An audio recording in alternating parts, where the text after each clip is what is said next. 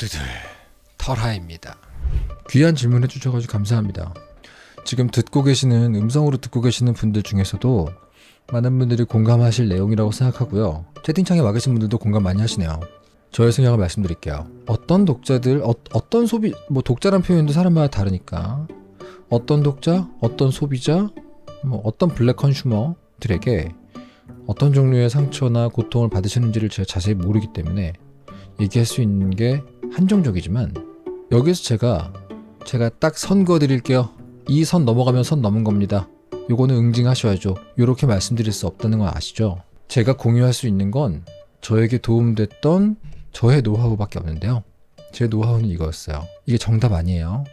참고하시고 버릴 수도 있어요. 독자에 대해서 안 좋은 마음이 들 때 난 이렇게 생각했어요. 이 지구라는 별은 되게 위험천만한 협곡과 살기 아주 안 좋은 오지도 있고 안락한 휴양지도 있잖아요. 여행 중에 오지에서 죽을 뻔하다 돌아온 거야. 그리고 지구를 미워하는 인간이 별로 없거든요. 그 위험한 곳을 파악한 다음 피해가려고 많이 노력을 하거나 거기에 안주를 안 하려고 하지. 나는 약간 독자들 혹은 소비자, black consumer 뭐라고 불러도 좋은데 어떤 작가에게는 여기까진 독자인데 어떤 작가는 여기부터는 black consumer일 수도 있잖아. 그건 다 달라요. 아무튼 나는 내 만화를 소비하고 돈을 대고 볼 어떤 사람들을 그 시장을 독자들을 그런 식으로 좀 보는 것 같아요. 지구를 미워하는 지구인은 없어. 그냥 그곳을 최대한 잘 파악해서 피해 다니고 싶어 하는 건 맞지. 그런 의미에서 시장의 어떤 근데 여기서 여러분 이거 있습니다. 어떤 문화적으로 이거 약간 내가 보기에는 작가들 창작에 되게 안 좋은 방향으로 잡혀가는 게 있다 싶으면 그때는 캠페인을 하건 작가들끼리 플랫폼에게 요구를 하건 어떤 그 독자들의 건강한 문화를 촉구하는 목소리를 낼 필요는 있어요. 이거는 분명히 중요해. 예를 들면 악플은 누가 봐도 문제잖아요.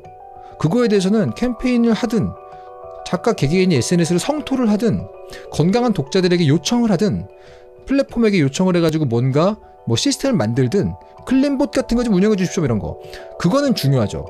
근데 그 미묘한 선에 따라서 어디까지 할 수 있을까가 되게 어렵다는 거예요. 그러다 보니까 10개의 문제 중에 한 8, 9개는 애매해. 이건 독자가 나쁜 걸까 내가 예민한 걸까? 이게 애매해. 이건 누가 봐도 이거는 이 사람 블랙 컨슈머다 싶은 것들은 분명히 뭔가 해야죠. 협회가 하건 플랫폼이 하건 목소리 내야 돼요. SNS에 쓰고 막 그 그런 것들은 보통 건강한 독자들도 문제라고 생각하고요. 근데 그 애매한 여덟 꼭 애매한 게 숫자가 많잖아요. 저는 그거에 대해서 일단 내 내 멘탈을 지키고 나서 생각을 해야죠. 내가 멘탈이 흔들려 버리게 되면 그 다음 무브를 못 하잖아요. 그래서 내 멘탈을 일단 지키자는 목적으로 내가 세운 원칙이 그거였어. 아 여기는 약간 늪지대나 벌대나 약간 위험천만한 지형이 좀 많은 시장이구나. 아, 저기 저쪽에 얼씬도 하지 말아야지. 이런 거잖아. 그런 느낌? 근데 이게 왜 독자에 대한 미움으로 가는지 아세요? 인간이고 사람이란 생각을 해서 그래. 아, 내가 그 사람들을 사람 이하로 보라는 게 아니고 인격 대 인격으로 생각하는 게 자연스럽게 감정이 나오잖아요. 근데 잘 생각해 보면 그 사람들이 같은 현생 인류라는 건 사실이지만 사실은 나는 그 사람들이 인간인지 뭔지 모른다. 근데 마치 어떤 어떤 구체화된 한 인간으로 자꾸 생각을 하니까 미움이라는 감정으로 잘 간단 말이에요. 근데 어떤 현상으로 좀 볼 필요가 있어요. 어, 인간 이하로 보라는 뜻이 아니야. 오해하지 마세요. 그거보다는 약간 실체 없는 존재를 미워하는 게 돼버려, 내가. 작가들이 명확한 실체가 없는 존재를 미워하면 막연한 미움이기 때문에 대상이 사라집니다. 그럼 뭐가 남을까요?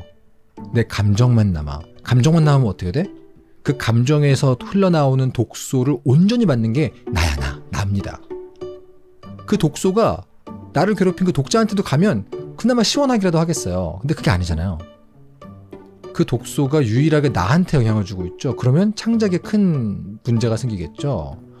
그런 의미라서 저는 일단 1차적으로 그 애매한 회색지대에 있는 많은 문제들 같은 경우는 그 사람들을 정서적으로 미워하는 이유가 뭔지 한번 잘 생각해 보세요.